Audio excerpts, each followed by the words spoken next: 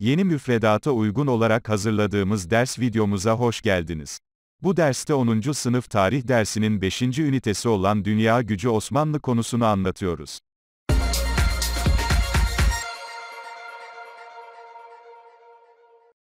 Dersimize ünitemizin birinci bölümünün kronolojisini vererek başlayalım. Ardından ayrıntılara geçelim. Fatih Sultan Mehmet yani 2. Mehmet dönemi 1451 ila 1481. 1453 İstanbul'un fethi. 1454 Sırbistan'ın alınması. 1459 Amasra'nın alınması. 1460 Mora'nın alınması. 1461 Sinop ve Trabzon'un alınması. 1462 Eflak'ın alınması. 1463 ila 1479 Venedik ile mücadele. 1473 Otlukbeli Savaşı. 1474 Karakoyunlu Beyliğine son verildi. 1475 Kırım'ın fethi ile Karadeniz Türk Gölü oldu. 1476 Boğda'nın alınması. 1479 Arnavutluğun alınması. 1480 İtalya Seferi. 2. Bayezid dönemi 1481 ila 1512. 1481 ila 1495 Cem Sultan olayı. 1492 İspanya'daki Yahudilerin Osmanlı ülkesine getirilmesi. 1511 Şahkulu isyanı. Yavuz Sultan Selim dönemi 1512 ila 1520. 1514 Çaldıran Muharebesi Safevi hükümdarı Şah İsmail ile yapıldı. 1515 Turnadağ Muharebesi Dulkadir oğulları ile yapıldı ve Anadolu'da Türk birliği sağlandı. 1516 Mercidabık Muharebesi Memlukler ile yapıldı. 1517 Ridaniye Muharebesi Memlukler ile yapıldı ve halifelik Osmanlı'ya geçti. İstanbul'un fethi İstanbul'un fethinin sebepleri Osmanlı'nın Anadolu'dan Rumeli'ye ya da Rumeli'den Anadolu'ya rahatça kuvvet geçirebilmek istemesi. Osmanlı'nın deniz ticaretini geliştirmek ve boğazlara hakim olmak istemesi. Osmanlı'nın Kuzey ve Doğu Avrupa'dan gelen ticaret yolları ile Karadeniz-Akdeniz arasındaki su yollarının denetimini ele geçirmek istemesi. Osmanlı'nın Katolik ve Ortodoks kilisesini birbirinden ayırarak Hristiyan aleminin birleşmesini önlemek istemesi. Bizans İmparatorluğu'nun, Osmanlı'nın toprak bütünlüğünü bozması. Bizans'ın Hristiyan Batı alemini Haçlı seferleri için tahrik etmesi. Bizans'ın saltanat iddiasında bulunan Osmanlı şehzadelerini koruyup destekleyerek devleti devamlı bir iç savaş tehdidi altında tutması. Hazreti Muhammed'in İstanbul'un fethiyle ilgili hadisi. İstanbul'un fethi için yapılan hazırlıklar. 1451'de tahta çıkan 2. Mehmet, ilk olarak Karamanoğulları ile anlaştı ve Anadolu'da güvenliği sağladı. Anadolu Hisarı'nın karşısına Rumeli Hisarı'nı yani Boğaz Keseni yaptırdı. Şahi adı verilen büyük toplar döktürdü. Balkanlardan gelebilecek yardımlara karşı gerekli önlemleri aldı. Bizans'ın aldığı önlemler. Osmanlı Devleti'nin faaliyetlerine karşılık Bizans, Halic'in girişini kalın zincirlerle kapattırdı. Surları güçlendirdi. Papa ve Macarlardan yardım istedi. Gregois yani Rum ateşi olarak isimlendirilen silahlar imal etmişlerdir. İstanbul'un fethi 29 Mayıs 1453. Osmanlı ordusu 6 Nisan 1453'te İstanbul'u kuşattı. 20 Nisan'da denizlerde mücadele başladı. Ancak, Halic'in ağzının büyük zincirlerle kapatılmış olması nedeniyle Osmanlı donanması Haliç'e giremedi. Bizans'a yardıma gelen Venedik, Papalık ve Ceneviz gemileri Osmanlı donanmasını yararak Haliç'e girdi. İkinci Mehmet gemileri yağlı kızaklar üzerinde, karadan Haliç'e indirtti. Karadan ve denizden saldırıya geçen Osmanlı kuvvetleri, 54 gün sonra 29 Mayıs 1453 Salı günü İstanbul'u fethetti. Fethin Türk tarihi açısından sonuçları Rum Ortodoks Patrikhanesi'nin devamına izin vererek yönetimi altına aldığı Ortodokslara din ve vicdan hürriyeti tanındı. İstanbul, Osmanlı Devleti'nin başkenti oldu. Asya ve Avrupa kıtalarını, Karadeniz ile Akdeniz'i birbirine bağlayan yolların denetimi Osmanlılara geçti. Osmanlı Devleti'nin Anadolu ve Rumeli arasındaki toprak bütünlüğü sağlandı. İkinci Mehmet'e, Fatih, unvanı verildi. Fethin dünya tarihi açısından sonuçları. Bizans İmparatorluğu yıkıldı. İpek yolunun büyük bir bölümünün Osmanlı Devleti'nin eline geçmesi Avrupalıları yeni yolların arayışına yöneltti. Bu olay coğrafi keşiflerin nedenlerinden birini oluşturdu. Yine büyük toplarla en güçlü surların bile yıkılabileceği görüldü. Bu durumda Avrupa'daki derebeyliklerin yıkılmasına zemin hazırladı. Fetihten sonra İtalya'ya giden bazı bilim insanları Rönesans'ın başlamasına katkıda bulundular. Fetih Orta Çağ'ın sonu, Yeni Çağ'ın başlangıcı oldu. Fetih sonrası İstanbul. İstanbul kısa sürede imar edilerek adeta devletin simgesi haline geldi. Osmanlı Devleti İstanbul'a, İslambol ve Dersadet gibi adlar verdi. Bir süre sonra padişahlarının oturdukları ve devlet işlerini yürüttükleri Topkapı Sarayı inşa edildi. Kapalı Çarşı'nın çekirdeği olan Büyük Bedeste'nin inşasına başlandı. Fatih yaptırdığı caminin etrafında Sağan I. Semen Medresesini, çocuklar için bir mektep ve bir hastane inşa ettirdi. Anadolu'dan gelen Türkmenlerin iskanı ile İstanbul Türkleştirildi. Yerli Hristiyan halkın İstanbul'da kalması sağlanarak İstanbul, önemli bir dünya şehri haline getirildi. İslam dünyası liderliğine Yavuz Sultan Selim padişah olduğunda Anadolu'da Safevilerin Şiilik propagandaları sürüyordu. Diğer yandan Osmanlıların her geçen gün büyümesi Memluklu devletini rahatsız ediyordu. Maraş çevresinde hüküm süren Dulkadir oğulları ise Osmanlı Devleti aleyhine Memluklularla işbirliği halindeydi. Yavuz Sultan Selim'in siyasi politikası, Türk İslam dünyasını tek çatı altında toplamak ve Safevilerin Anadolu'ya hakim olmak için uygulamaya koyduğu Şii propagandasını önlemekti. Osmanlı-Safevi ilişkileri Osmanlı Devleti'nin doğu sınırında bulunan Safevi Devleti, kendine rakip olarak gördüğü Osmanlı Devleti'ni Şiilik propagandası yolu ile ele geçirmek istiyordu. Bu amaçla Safevi hükümdarı Şah İsmail, II. Bayezid döneminde Tokat, Amasya ve Çorum civarında Şahkulu isyanını çıkarttı. İlk başlarda başarılı olan ayaklanma, daha sonra Osmanlı Devleti tarafından etkisiz hale getirildi. 1512'de tahta oturan Yavuz Sultan Selim ilk olarak Safeviler üzerine yürümeye karar verdi. 1514 Çaldıran Savaşı 1514 yılında iki ordu Van Gölü'nün kuzeydoğusundaki Çaldıran Ovası'nda karşı karşıya geldi. Safevi ordusu bozguna uğradı. Savaş sonucunda Tebriz, Musul, Kerkük ve Erbil Osmanlı topraklarına katıldı. Tebriz, Halep ve Bursa İpek yolunun da hakimiyeti Osmanlılara geçti. Anadolu'daki Safevi tehlikesi kırıldı. 1515 Turnadağ Savaşı. Yavuz Sultan Selim, Çaldıran'dan dönerken Sinan Paşa komutasındaki bir orduyu Dulkadir oğulları beyliği üzerine yolladı. 1515 Turnadağ Savaşı'nda Dulkadir oğulları yenilgiye uğratılarak Osmanlı hakimiyeti altına alındı. Bu durum Osmanlı-Memluklu ilişkilerinin iyice gerilmesine neden oldu. Osmanlı-Memluklu ilişkileri Osmanlı Devleti'nin Memluklular üzerine sefer düzenlemesinin sebepleri şunlardır.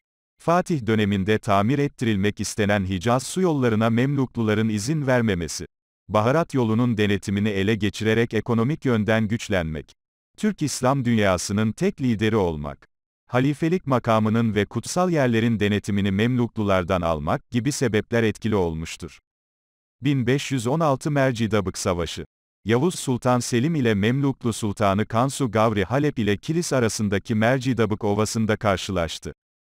Savaşı Osmanlı Devleti kazandı. Memluklu hükümdarı Kansu Gavri savaş alanında öldü. Mercidabık Savaşı sonunda Halep ve Şam ele geçirilerek Suriye Osmanlı topraklarına katıldı. 1517 Ridaniye Savaşı Kış ayını Şam'da geçiren Yavuz, Mısır seferi için hazırlıklara başladı. 1517 baharında Sina çölünü geçerek Kahire yakınlarında Mısır ordusu ile yaptığı Ridaniye Savaşı'nı kazandı. Böylece Memluklu devletine son verildi. Mısır seferinin sonuçları. Memluklu devleti yıkıldı. Suriye, Filistin, Lübnan, Mısır ve Hicaz bölgeleri Osmanlı Devleti'ne katıldı. Doğu Akdeniz'den geçen baharat yolu Osmanlı Devleti'nin denetimine girdi. Halifelik Osmanlılara geçti ve Osmanlı Devleti İslam dünyasının lideri oldu. Venedikliler, Kıbrıs adası için Memluklara ödedikleri vergiyi bundan sonra Osmanlı Devleti'ne ödemeye başladı. Yavuz Sultan Selim döneminin sonu. Mısır seferi sonucunda İstanbul'a dönen Yavuz Sultan Selim bir süre sonra rahatsızlandı. 22 Eylül 1520'de, Şirpençe denen bir çıban yüzünden henüz 50 yaşında iken vefat etti. Tarihçiler, Yavuz Sultan Selim'i, 8 yıla 80 yıllık iş sığdırmış büyük bir padişah olarak değerlendirirler. Bu bölümde Kanuni Sultan Süleyman, 2. Selim ve 3. Murat dönemi olaylarının kronolojisini verelim. Ardından ayrıntılara geçelim. Kanuni Sultan Süleyman dönemi 1520 ila 1566 arası. 1521 Belgrad'ın fethi. 1522 Rodos'un fethi. 1526 Mohaç Muharebesi bu savaşta Macaristan yenilgiye uğradı. 1526 Babür İmparatorluğu'nun kurulması. 1529 Barbaros Hayrettin'in Cezayir'e hakim olması. 1529 1. Viyana kuşatması. 1533 İstanbul Antlaşması ile Avusturya İmparatoru Osmanlı sadrazamına denk sayıldı. 1533 Cezayir'in alınması. 1534 Bağdat Safevilerden alındı. 1535 Fransa'ya kapitülasyon verilmesi. 1538 Preveze Deniz Savaşı ile Akdeniz Türk Gölü oldu. 1538 ila 1553 Hint deniz seferleri. 1551 Trablusgarp'ın fethi. 1548 Tebriz'in alınması. 1553 Nahçıvan'ın alınması. 1555 Amasya Antlaşması, ilk Osmanlı Safevi Antlaşmasıdır. 1555 Sudan'ın Kızıldeniz sahilinde Sevakin Adası merkezli Habeş eyaletinin kurulması. 1555 Augsburg Barışı, Lutherciliğin varlığını kabul eden ilk kalıcı yasal düzenlemedir. 1560 Cerbe Deniz Savaşı. 1566 Zigetvar Seferi ve Kanuni'nin ölümü. İkinci Selim dönemi 1566 ila 1574. 1566 Sakız Adası'nın alınması. 1568 Yemen'in alınması. 1571 Kıbrıs'ın fethi, Kıbrıs Venedik'ten alındı. 1571 İnebahtı Deniz Savaşı ile Haçlılar Osmanlı donanmasını yaktı. 1574 Tunus'un fethi. 3. Murat dönemi 1574 ila 1595 arası. 1578 Fas'ta Osmanlı hakimiyetinin kurulması. 1590 Ferhat Paşa Antlaşması. Bu antlaşma Safevilerle imzalandı. Doğuda en geniş sınırlara ulaşıldı. Kanuni Sultan Süleyman dönemi. Yavuz Sultan Selim'in vefatından sonra yerine, 1520 yılında tahtın tek varisi olan 1. Süleyman geçti. Osmanlıların, Kanuni, Avrupalıların ise, muhteşem, sıfatını verdikleri 1. Süleyman, 46 yıl padişahlık yapmıştır. Osmanlı'da en uzun süre padişahlık yapan kişidir. Kanuni, mevcut kanunlara riayet etmiş, adaletten hiç taviz vermemiş, uygulamaya koyduğu kanunlarda hak ve hukuku gözetmiştir. Tüm bunlar kendisine, Kanuni, unvanını kazandırdı. Kanuni Avrupa siyasetinde etkin olmak istiyordu. Yavuz Sultan Selim hükümdarlığında en zengin dönemini yaşayan Osmanlı hazinesi, Kanuni döneminde uzun süren seferler yüzünden ilk kez açık verdi. Not Günümüzde Kanuni Sultan Süleyman'ın ünlü kanun yapıcıların portrelerinin yer aldığı ABD Kongre binasında portresi bulunmaktadır. 16. yüzyılda Osmanlı-Habsburg mücadelesi 16. yüzyılda Osmanlı Devleti'nin Doğu ve Orta Avrupa'daki en büyük rakibi Avusturya oldu. Avusturya Kralı Ferdinand, Roma Germen İmparatoru Şarke'nin aynı zamanda kardeşiydi. Bu durumdan cesaret alarak Osmanlı Devleti'nin Avrupa'da ilerlemesine karşı çıkıyordu. Kanuni, ilk olarak Orta Avrupa'nın giriş kapısı niteliğinde olan Belgrad'ı 1521 yılında fethederek önemli bir üs merkezi edindi ve Macaristan ile sınır oldu.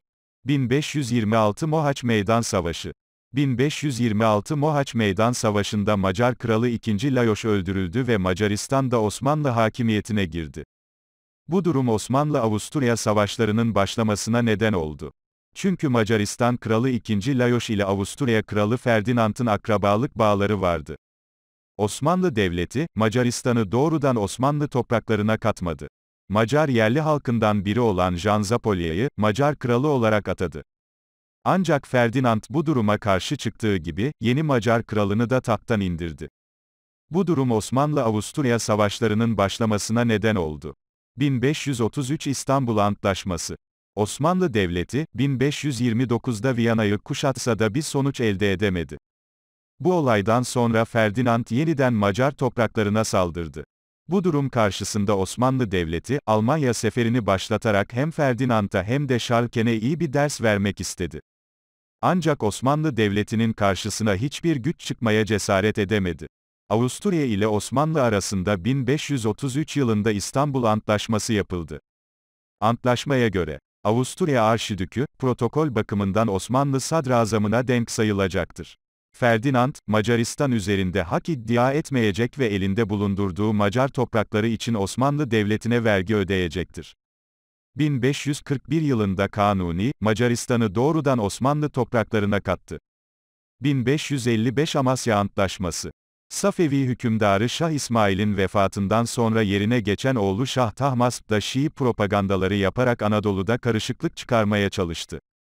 Osmanlı Devleti aleyhine Venedik ve Avusturya ile anlaşma yaptı. Bu gelişmeler üzerine Kanuni 1534, 1548 ve 1553'te İran üzerine üç sefer düzenledi. 1555'te iki ülke arasında Amasya Antlaşması yapıldı. Antlaşmaya göre, Osmanlı Devleti ile İran arasındaki ilk resmi antlaşmadır. Tebriz, Erivan, Bağdat, Irak ve Doğu Anadolu Osmanlı Devleti'ne bırakıldı. Osmanlı'nın ekonomi politikaları, Akdeniz ve Karadeniz arasında bağlantının kurulması, İpek ve baharat yollarının büyük ölçüde denetim altına alınması, Osmanlı ticari faaliyetlerine ivme kazandırdı. Fatih Sultan Mehmet, Venediklilerle uzun vadeli ticaret yapmak amacıyla kendilerine, İstanbul'da balyos yani elçi bulundurma hakkı verdi ve bir takım gümrük kolaylıkları sağladı. İstanbul, Doğu ve Batı tüccarlarının bir araya geldiği uluslararası bir pazar niteliğindeydi. Bursa, Kahire, Edirne ve Selanik önemli ticaret merkezleriydi. Doğu ülkelerinden Avrupa'ya giden malların bir kısmı İskenderun ve Suriye limanlarından sevk edilmeye başlandı. Bu nedenle Akdeniz'deki gemi ticareti oldukça önem kazandı.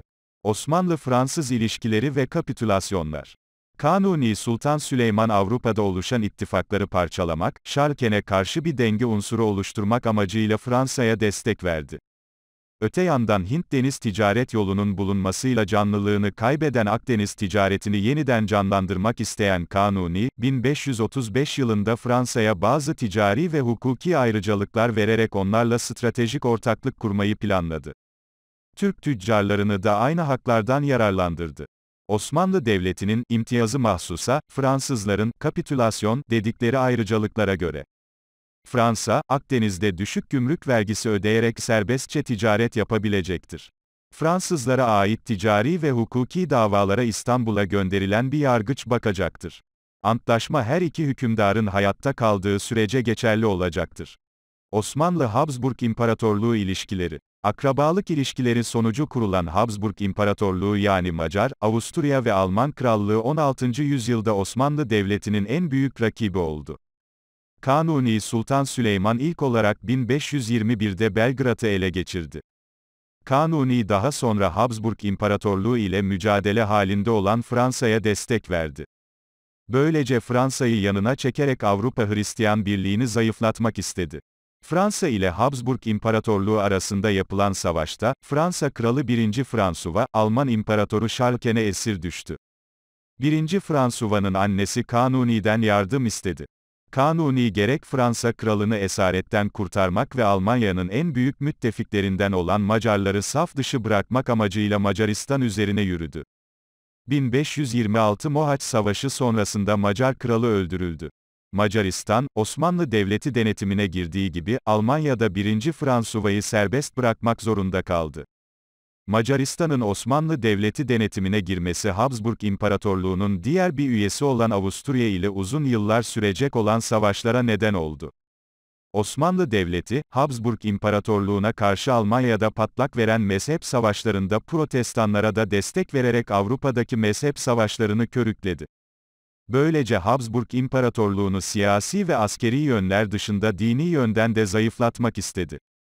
Osmanlı-İspanya ilişkileri 16. yüzyılın başlarında İspanya Krallığı, gerek Katolikliğin savunucusu olarak gerekse dünya imparatorluğu kurma arzusuyla Akdeniz'de faaliyetlere başladı.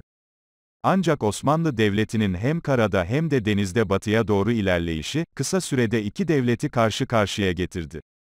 Osmanlı Devleti, bu mücadelede İspanya'yı yalnız bırakmak amacıyla Fransa, Venedik ve Cenevizlere bir takım ticari ayrıcalıklar verdi. 16. yüzyılda genelde Akdeniz'de gerçekleşen rekabet Osmanlı Devleti lehine sonuçlandı. Osmanlı-Portekiz ilişkileri 15 ve 16. yüzyılda Osmanlı Devleti, Portekizlilerle hem Akdeniz'de hem de Atlas ve Hint okyanuslarında büyük bir rekabete girişti. Osmanlı Devleti, Akdeniz'de güçlü bir donanma kurarak Portekizlilerle kıyasıya bir mücadeleye başladı. Diğer yandan Hint ve Atlas okyanuslarında Portekiz hakimiyetini kırmak için Hint deniz seferlerini başlattı. Osmanlı Devleti her ne kadar okyanuslarda Portekiz hakimiyetini kıramadıysa da 16. yüzyıl sonunda Portekizlilerin Akdeniz'deki varlığına son vermeyi başardı. Osmanlı-Venedik ilişkileri Fatih döneminde Osmanlıların Ege adalarını ele geçirmeleri, Venediklilerin Osmanlı Devleti'ne savaş açmalarına neden oldu. Bu savaşlar boyunca Osmanlılar Eğriboz başta olmak üzere birçok adayı ele geçirdiler. Savaşın sonunda barış yapıldı. Antlaşma ile Venediklilere bir takım ticari ayrıcalıklar verildi. Fatih, bunu yaparak hem bölge ticaretini canlı tutmayı hem de Batı'nın en güçlü denizci tüccar devletinin gücünü yanına çekip onu, Avrupa Hristiyan Birliği'nden ayırmayı amaçladı. Fatih döneminden sonra, Osmanlıların Akdeniz'de her geçen gün hakimiyet alanlarını genişletmeleri Venediklileri rahatsız etti. Bundan sonra Venedikliler Osmanlılara karşı oluşturulan Haçlı ittifaklarında yer aldılar. Osmanlı-Ceneviz ilişkileri Cenevizler, 11. yüzyıldan 16. yüzyıl sonlarına kadar İtalya Yarımadası'nda, bugünkü Cenova civarında hüküm sürmüş bir şehir devletiydi. İlk olarak Orhan Bey döneminde, Osmanlılar ile Cenevizliler arasında yoğun bir ticari ilişki başladı. Osmanlı Devleti, Cenevizlere verdiği ayrıcalıklarla Boğazlar çevresinde Osmanlı Devleti aleyhine oluşturulan Bizans-Venedik ittifakını bozmak istedi. İstanbul'un fethi ve sonrasında Cenevizliler, Osmanlı Devleti'ne karşı olumsuz tavır takınmaya başladılar. Fatih döneminde, Karadeniz'de Cenevizlerin en büyük kolonilerinden biri olan Kırım ve Kefen'in ele geçirilmesi sonucu Osmanlı Devleti, Karadeniz'de üstünlüğü ele geçirdi. Cenevizler, Osmanlılara karşı düzenlenen Haçlı ittifaklarında yer almışlarsa da, Osmanlılarla ticari ilişkilerini koparmamaya gayret göstermişlerdir. Osmanlı-Safevi ilişkileri Fatih'in 1473'te Akkoyunlu Devleti ile yaptığı Otlukbeli Savaşı sonrasında Akkoyunlu Devleti dağılma sürecine girdi. 1502 tarihinde Akkoyunlu Devleti'ne son veren Safeviler bölgede büyük bir güç haline geldi. Osmanlı-Safevi ilişkileri ilk olarak 2. Bayezid döneminde başladı. Safeviler, bu dönemde Anadolu'da Şahkulu isyanını çıkarttılar. Yavuz Sultan Selim, hükümdar olduktan sonra ilk iş olarak Safevi, dolayısıyla Anadolu'ya yönelik Şii tehdidini ortadan kaldırmayı hedefledi. Bu sebeplerle yapılan 1514 Çaldıran Savaşı'nı Osmanlı Devleti kazandı. Böylece Anadolu'ya yönelik Şii tehdidinin büyük ölçüde önüne geçilmiş oldu. Kanuni döneminde İran üzerine yapılan üç sefer sonrasında, Safeviler barış istemek zorunda kaldı. Böylece batıya yapılacak seferler için uygun bir ortam hazırlandı. Osmanlı-Memluklu ilişkileri 16. yüzyılda iki ülke arasında Türk ve İslam dünyasının liderliği konusunda kıyasıya bir mücadele vardı. Abbasi halifesinin Memlukların koruyuculuğunda olması, onlara İslam dünyasında ayrı bir itibar sağlıyordu. Osmanlı-Memluklu rekabeti, 2. Bayezid döneminde savaşa dönüştü. Savaş sonunda Memluklular hakimiyet alanlarını Anadolu'nun güneyine kadar genişlettiler. Yavuz Sultan Selim padişah olduktan sonra iki ülke arasında önce 1516 Mercidabık, daha sonra 1517 Ridaniye savaşları yaşandı. Bu iki savaş sonrasında Memlukluların siyasi varlığına son veren Osmanlılar hem Türk İslam dünyasının tek lideri oldu hem de halifeliği ele geçirdi. 15 ve 16. yüzyıl Osmanlı siyaseti Osmanlı Devleti, Roma Katolik Kilisesi'ni Hristiyan dünyasında yalnız bırakmak ve Avrupa Hristiyan Birliği'ni parçalamak amacıyla çeşitli tedbirler aldı. Osmanlı Devleti kuruluş döneminden izlemiş olduğu adaletli ve hoşgörülü politika sayesinde Balkan halkının güvenini kazandı. Hatta başta Bosna ve Hersekliler olmak üzere birçok Balkan halkı gönüllü olarak Müslümanlığı tercih etti. Fatih Sultan Mehmet, İstanbul'u fethettikten sonra şehirdeki tüm gayrimüslimlere inanç ve ibadet özgürlüğü tanıdı. Katolik Roma Kilisesi'ne karşı, Ortodoksları himaye edecek Hristiyan birliğini bozmayı amaçladı. Kanuni, reform hareketlerinin Osmanlı Devleti'nin yararına olduğunu düşündü. Luther'e ve protestanlara destek verdi. Reform hareketleri 16. yüzyıl başlarından itibaren Avrupa'da Katolik Kilisesi'nin aşırı zenginleşmesi, yozlaşması, siyasetle ve dünyevi etkinliklerle daha fazla ilgilenmeye başlaması birçok din adamı ve halkın tepkisine yol açtı. Bu durum başta Almanya olmak üzere Fransa, İngiltere ve Kuzey Avrupa ülkelerine yayılan reform hareketlerine neden oldu. Almanya'da reform hareketlerinin öncüsü, ilahiyatçı Martin Luther oldu. Luther 1517'de yayımladığı bildiride kilisenin yaptığı yanlışlara vurgu yaptı. Luther'in düşüncelerinden etkilenen fakir Alman köylüleri ve şövalyeler ayaklanma başlatarak kilise topraklarına ve mallarına saldırdılar. Luthercilerin ayaklanmalarından endişelenen Alman İmparatoru Şarlken, reform hareketlerinin yayıldığı yerlerde kalmasına dair bir karar çıkarttı. Schalke'nin bu kararını 5 Alman prensi ve 14 şehir protesto etti. Bu yüzden Luther taraftarlarına, protestan, adı verildi. Schalken ve Luther taraftarları arasında 25 yıl süren savaşlar oldu. Bu savaşlar sonunda 1555 yılında Augsburg Antlaşması ile protestanlara inanç serbestliği tanındı. Reform hareketleri sonucunda Avrupa'da mezhep birliğinin bozulması, 1618 ila 1648 arası yapılan 30 yıl savaşlarının başlamasına neden oldu. 1648 Westfalya Antlaşması ile savaş sona erdi. Savaş sonrasında Almanya zayıfladı, Fransa güçlendi. İngiltere'de ise 1. Elizabeth mutlak monarşi anlayışını ülkesinde daha da güçlendirmeye çalıştı. Reform hareketleri ve Osmanlı Reform hareketleri Osmanlı Devleti'nde etkili olamadı. Çünkü Osmanlı topraklarında yaşayan Hristiyanlar, din ve vicdan özgürlüğüne sahiplerdi. Osmanlı Devleti, Avrupa'daki reform hareketleriyle siyasi açıdan ilgilendi. Dönemin hükümdarı Kanuni, Luther'e ve Protestanlara destek verdi. Avrupa'daki karışıklıklardan faydalanarak Viyana önlerine kadar ilerledi. Osmanlı Devleti'nin Kuzey Afrika politikası Osmanlı Devleti'nin Kuzey Afrika'daki hakimiyeti 1517'de Mısır'ın fethiyle başladı. İspanyolların Kuzey Afrika'yı ele geçirme ihtimalleri karşısında ünlü Türk denizcileri Oruç Reis ile Hızır Reis, bu bölgelerde Türk hakimiyetini tesis etme hedefine yöneldiler. İlk olarak Cezayir'i denetimleri altına aldılar. Oruç Reis'in ölümünden sonra Kanuni döneminde Osmanlıların hizmetine giren Barbaros Hayrettin Paşa, 1529 yılında Cezayir'i Osmanlı topraklarına kattı. Barbaros'un ölümünden sonra yerine Turgut Reis geçti. Turgut Reis, Saint Jean şövalyelerinin denetiminde olan Trablusgarp'ı 1551'de, bir süre sonra da 1574 yılında Tunus'u alarak Osmanlı topraklarına kattı. Akdeniz'de Osmanlı hakimiyetinin kurulması. Osmanlı donanmasının temeli, daha önce sahil bölgelerinde kurulan Karesioğulları, Aydınoğulları, Candaroğulları, Saruhanoğulları ve Menteşeoğulları beyliklerinin Osmanlı hakimiyetine girmesiyle teşekkül etti.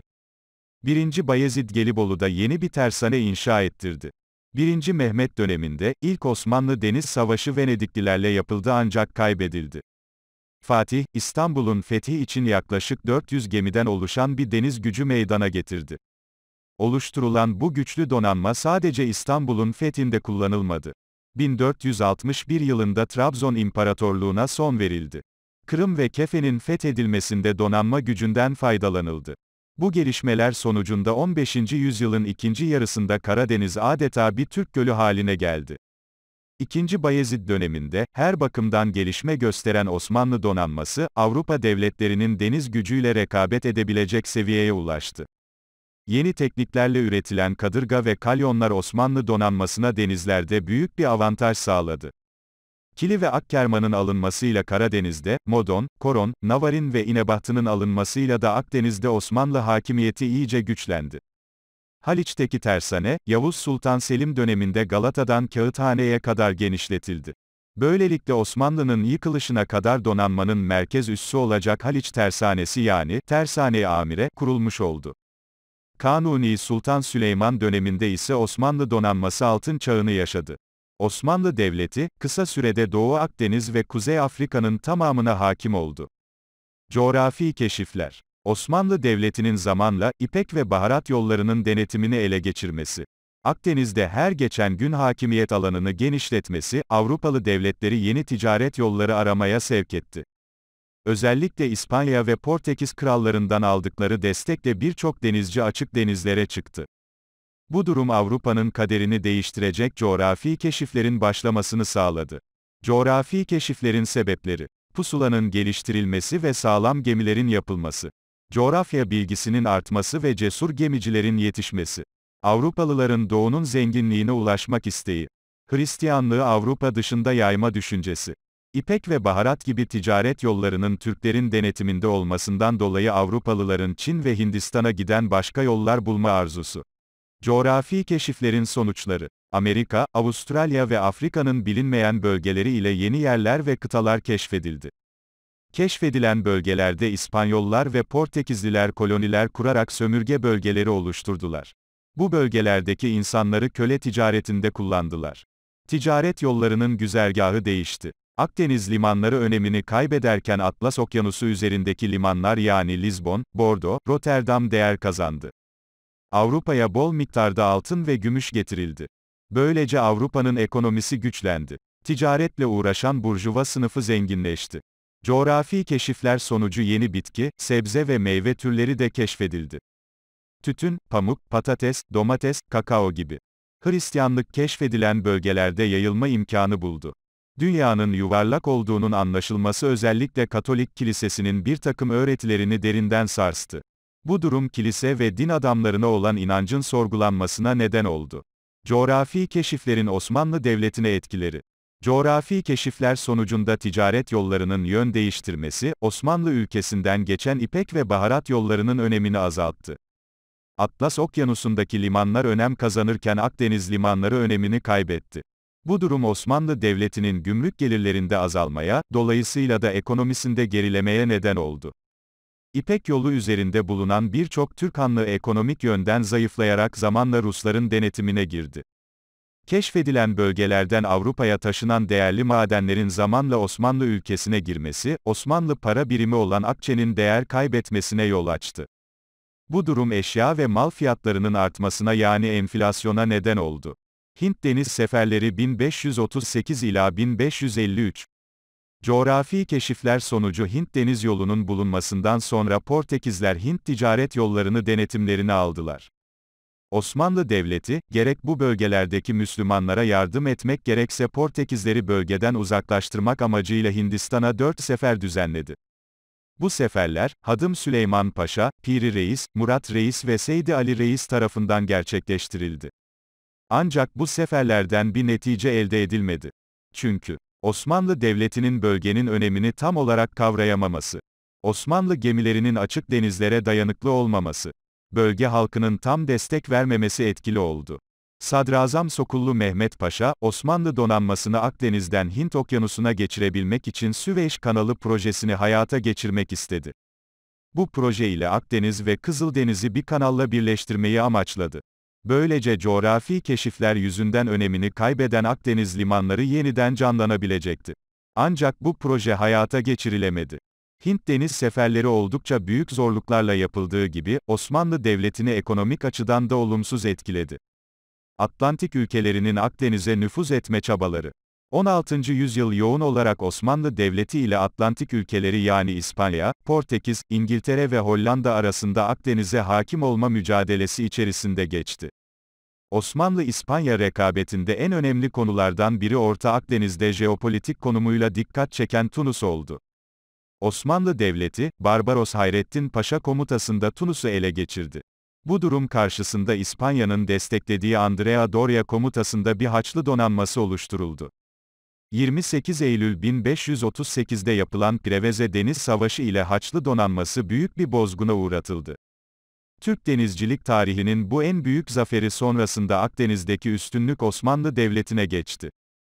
İspanyolların elinde bulunan Cerbe Adası'nın 1560 yılında fethedilmesiyle Osmanlı Devleti'nin Akdeniz'deki hakimiyeti daha da güçlendi. İkinci Selim döneminde Kaptanı Derya Lala Mustafa Paşa, Venediklerin elinde bulunan Kıbrıs'ı, 1571 yılında ele geçirdi. Kıbrıs'ın fethedilmesi sonrası İspanya, Portekiz, Venedik gibi ülkelerden oluşan yeni bir Haçlı donanması oluşturdular. 1571 yılında İnebaht'ında yapılan savaşta yaklaşık 300 parçalık Osmanlı donanmasını yaktılar. Osmanlı Devleti ile İspanya arasında Tunus üzerinde hakimiyet kurma mücadelesi yaklaşık 40 yıl sürdü. Ancak bu mücadele Osmanlı Devleti'nin 1574 yılında Tunus'a hakim olmasıyla sonuçlandı. Osmanlı Devleti ile Portekiz arasında yaşanan Akdeniz'e hakim olma mücadelesi zamanla Atlas ve Hint Okyanusu'nda da devam etti. Kuzey Afrika'nın en batısında yer alan Fas'taki hakimiyeti için yapılan ve tarihte Vadiüs Seyl Savaşı olarak bilinen savaşta Portekiz donanmaları ağır bir darbe aldı. 1576 yılında Portekiz kralı da bu savaşta hayatını kaybetti. Bu savaştan sonra Portekiz, Akdeniz ve diğer bölgelerdeki sömürgelerini kaybederek sömürgecilik rekabetinde geri plana düştü. Hollanda, 16. yüzyıla kadar İspanya'nın hakimiyeti altında bulunuyordu. İspanya'nın zayıflaması sonrası Hollanda, İspanya'dan ayrılarak bağımsız bir konuma geldi. 16. yüzyıl sonları ve 17. yüzyıl başlarından itibaren Osmanlı Devleti ile iyi ilişkiler kurmaya çalıştı. Bu sayede bir takım ekonomik imtiyazlar kazanarak Akdeniz'de etkinliğini arttırmak istedi. İngiltere, 16. yüzyıl ortalarından itibaren büyük bir donanma gücüne sahip oldu. 16. yüzyıldan itibaren sömürgecilik faaliyetlerinde en büyük rakipleri olan İspanya, Portekiz ve Fransa'yı saf dışı bırakarak adeta tek başına yol aldı. Dünyanın birçok yerinde sömürge bölgeleri oluşturdu. Zamanla Akdeniz bölgesine yönelerek bölgenin deniz ticaretini ele geçirmeyi ve Kuzey Afrika'da sömürge bölgeleri kurmayı hedefledi. Konu anlatım videomuzun sonuna geldik. Videolarımızı beğenmeyi, kanalımıza abone olmayı unutmayın. Yeni videolarımızdan haberdar olmak için lütfen bildirimleri açın. Herkese iyi çalışmalar.